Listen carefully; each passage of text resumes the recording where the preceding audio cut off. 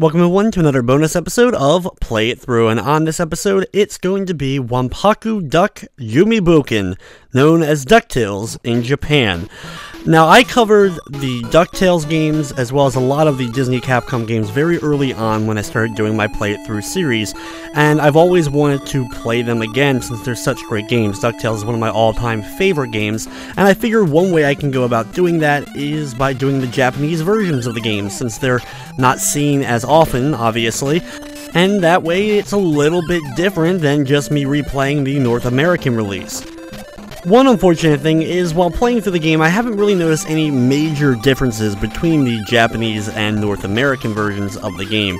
There are sometimes, you know, there's differences between regions that make it stand out just a little bit, but I didn't notice anything too major. We start off, of course, in the Amazon and get used to our Pogo ability, which works the same as it does in the North American release. The bees during this part in particular have always bugged me, and I always consistently run into them, especially if I try to rush. But uh, here I want to make sure I get that one bee to kind of spawn one way so I can get to Launchpad and then fly my way over to the left side. Once over here, I can uh, chase this bee that's been following me and pogo off of him and get up here. After outrunning the rock, making sure to pogo over the spiky part, we then have the part with the, like, Amazon-esque dog guys that are throwing spears at us, as well as the giant spiders for the first time in the game. Wait for the spiders to come down, they'll then retreat, giving you plenty of opportunity, of course, to go under them once they do so. Now we're going to use the trick here instead of using money. Everyone knows this trick probably by now, that you can bounce off an enemy and get right to the vine instead of having to deal with the statue over there. After we get up here, we have to outrun all these blocks, making sure to do a very small jump onto the little block in between so that we don't end up getting hit. It's then time for the first boss of the game, which is the giant totem-like statue that moves around the room and then slowly does big arcing jumps, and when it lands, it'll cause the ground to shake, so you gotta make sure you jump in the air at the same time. After delivering five hits to him, just like all the bosses, he goes down and we get our first treasure and complete the first stage of the game. One of the things that always made DuckTales awesome was just the fact that you could do the levels in any order. Of course, once you completed all the levels, then you had to go to the final kind of showdown at Transylvania, but at the same time, you could still do any of the other levels in whatever order you preferred. And actually, when I was speedrunning and learning the game how to speedrun it, I actually would usually start with the moon because it had the trickier glitches you could do uh, to speed up the run, and I would use that and kind of get that done. And if I was able to get through the moon quickly, that means I had a good chance of doing the rest of the levels pretty easily, considering I didn't use really anything major at the time to run through those. Transylvania is a very maze-like level with some mirrors that teleport you around the area. Reaching the teleporter that we did through the hidden wall allows us to go through this hallway which takes us to Magica De Spell, the boss for Transylvania. Well, the first boss for Transylvania as we have to deal with Dracula Duck later on. Magica, of course, one of the most popular characters from the DuckTales cartoon. She'll turn into her vulture raven like form and fly around before crashing back down into her human form or duck form, whatever you want to consider it. Uh, and then she'll fire out lightning bolts. When she does land with the lightning bolts, if you get behind her, they won't be able to hit you, and you usually have just a second or so to hit her before she ends up going back up into the air. And then you're kind of at her mercy as far as what flight level she's at, that you'll be able to do the pogo and jump up enough to end up hitting her. One thing I'm not going to be grabbing in the game is the second extra piece of health in Transylvania. I will be getting the one in the Himalayas, and I'll be getting the hidden treasures here in the African mines and in the moon level. When you first make it to the African mines, though, you can't go through without having the key in Transylvania. To get the key, you go right back into Transylvania into the first mirror, and you're right there with the giant chest that contains the key to the African mines, and then you can go through the other warp and go back to the selection screen and go to the mines. The mines contain three giant chests for you to find. Two have extra lives, and one has one of the hidden treasures, and I'll actually showcase where the two extra live ones are. The first one is over here to the left, going through the wall. You'll find the first giant chest that has an extra life, and then just to the left of it, go down here and then jump towards the left wall, causing these chests to spawn. But don't bounce on them until you get enough there that you'll be able to bounce off of them and over this wall to the other giant chest that contains an extra life. Those lives are key, because if you end up running out of lives in the game, it is game over, and you have to start all the way over from the beginning. So I highly recommend if you're playing the game uh, for the first time, you, you know need some practice at it, definitely grab those extra lives. There's a few other ones throughout the game as well, but those are too easy to get a hold of ones. Do a little bit of backtracking and go up here after watching out for that giant boulder. You have to bounce across these enemies here. There's another giant chest right in your way, and this one contains the hidden treasure for the mines, and once we have that, we're going to go down the chain just to the right of it, and this puts us on path towards the boss. Try to sneak off of the ledge so the bat doesn't end up hitting you, pass a couple of the slugs, and then it's time to battle the boss of the level. Bounce on his head, he'll then roll around the room, and when he gets back to the center, he'll form again, so you'll be able to jump off of his head once again. Usually I do a little short jump right before he teleports, and this usually prevents him from coming my direction, but either way, that jump also allows me to kind of get out of the way, because he can go either left or right when he's doing his rolling part, so always be prepared to go either way uh, if you need to go over him or just kind of wait for him to come back to you. That is now three of the levels done. There's a total of five levels, and then you go back to Transylvania. The fourth stage of the game is the Himalayas, which is one of my favorites because I've always been a big fan of snow-themed stages in classic platformers. You can pogo yourself off of a few enemies as well as chests, but if you pogo into the snow, you end up getting stuck for a little bit. I love the goat enemies. I don't know what it is, just their sprite work I always thought was pretty cool. So I've always liked the goats in this stage, even if they can be a bit tough to jump on because of the way they bounce. Now fall down this giant pit, you'll fall down multiple layers. Do not go left yet if you want the extra piece of health, but if you want to get to the end right away, you can hold left there and land on that platform, and you'll make it to where the boss will be. As you'll see, that's where we'll have to go in just a moment. Over here, you pretty much can't avoid the conversation, but it basically says Bubba is trapped in ice and you need to help him, and Bubba is the caveman uh, who was featured, or Cave Duck that was featured in episodes of DuckTales. And over here to the left, we're going to push this against the wall, then bounce off of it to free Bubba from the ice. He thanks us, and then busts down the wall to give us one of the two extra pieces of health. Like I said, the other one is in Transylvania. I'll point it out, but I, I won't be grabbing it in the run. Very easy to get to, though, if you do want to get that other extra health. Once we have that, though, we have to do some backtracking and work our way back over to the right, past the pit that ended up leading us down into this area. Just past that is another spider. Like always, the spiders wait for them to descend and then retreat before you attempt to go past them. Bounce up here and take the rope up and head to the left, watching out for another spider, and then jumping up here for more spider goodness. Now you're going to pass the hole that we first originally had come down. Like I mentioned, if you had hugged left, this is where you would have ended up being. And this leads us to the exit towards where the boss is located and out of the uh, mountain cave here. Climb up this rope Watch out for the boulder by jumping over to the left side and waiting for the boulder to pass, and then continue climbing up. Ignore the Beagle Boy over to the left side and get to this moving platform, ride it all the way across, and thankfully it's easy to do so.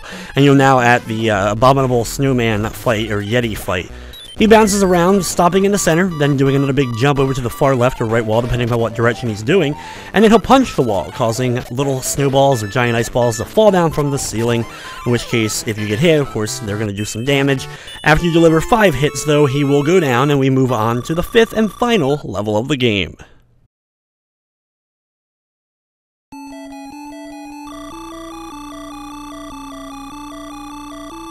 One of the most well-known things about DuckTales, even if you've never played the game but you're a fan of retro gaming, you've probably heard the level theme for The Moon. It's one of the best songs of all time. Some people may say it's even overrated at this point because it's so well-known, but the entire soundtrack to DuckTales was extremely well done. And the soundtrack for DuckTales 2 isn't that bad either, even if the game isn't as finely remembered.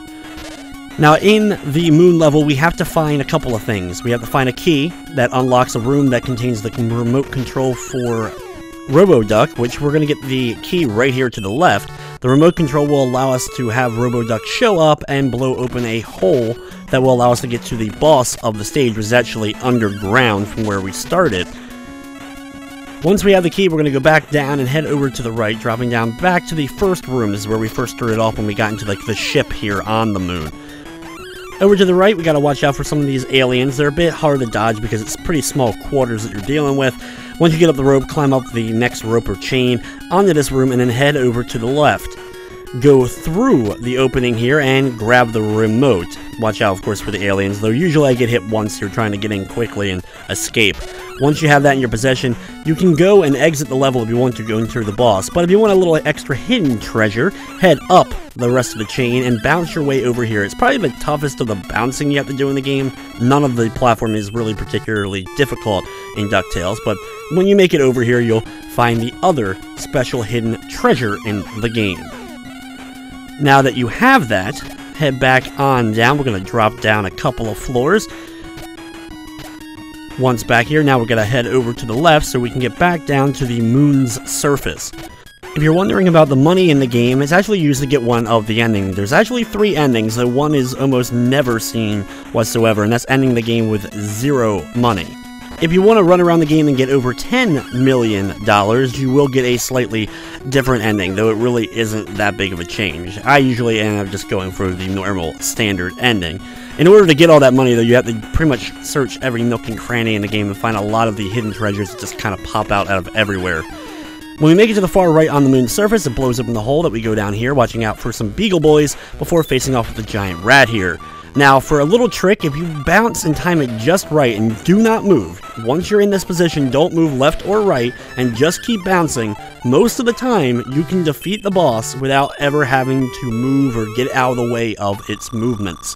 It's just one of those tricks that I've learned over the years. It doesn't work every time. You have to kind of make sure you're in the exact right positioning, but if you do, you have yourself a cakewalk of a battle.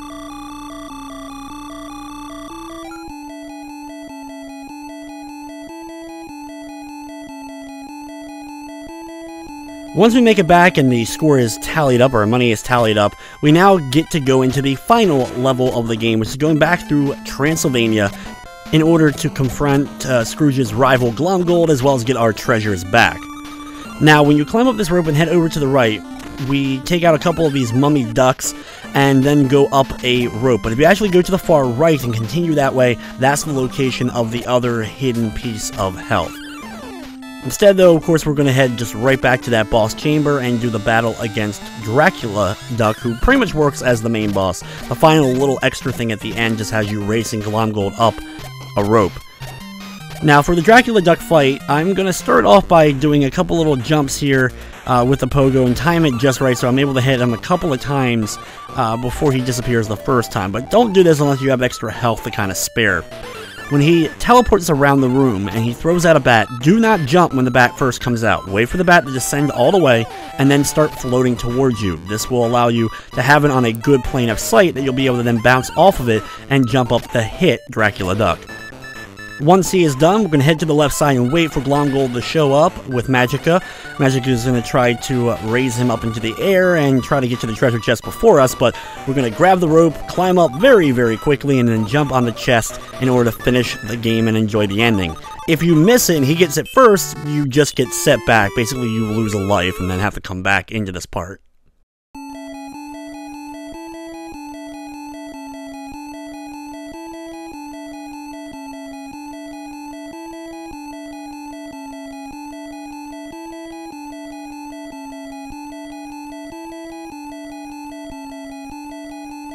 So, there you have it. That is the ending to DuckTales. Now, if you're interested in the bad ending, you can get it regularly. Basically, there is a trick that you can actually use to get health back, which actually costs money. And because of this, you can use that at your disposal to make sure that you're at zero money at the very end. But it's a very, very difficult thing to actually pull off. The ending, though, for this version, pretty much, I assume, remains mostly the same. Obviously, it's Japanese text, so I'm not sure exactly what's being said here, but I'm sure it's similar in some regard. One thing that's funny, though, is after getting all the dialogue from Huey, Dewey, and Louie, it then goes to Uncle Scrooge, and he just has Dream and Friends that he's saying at the very end. That's the only part of the game that's in English, uh, and that's kind of really funny that they decided to have that there, and then the end ends up coming up at the bottom. But there you go, guys. That is DuckTales, the Japanese version on the Famicom. And with that, it's going to wrap up this episode of Play It Through. Hey everyone, thanks for watching. You enjoyed the video, consider giving it a thumbs up or commenting down below. If you enjoyed this playthrough, be sure to check out some of the other recent ones I just did, including Vice Project Doom, one of the underrated action games on the NES, or for something a little bit different, the Godzilla Monster of Monsters. The first Godzilla game, not the best, a lot of repetitiveness, but still pretty cool to see. I also, of course, need to thank all the members of my Patreon. Without your guys' continued support, I wouldn't be able to keep doing what I'm doing. So thank you all so, so much. But anyway, guys, thank you again for watching, and of course, I hope you enjoyed.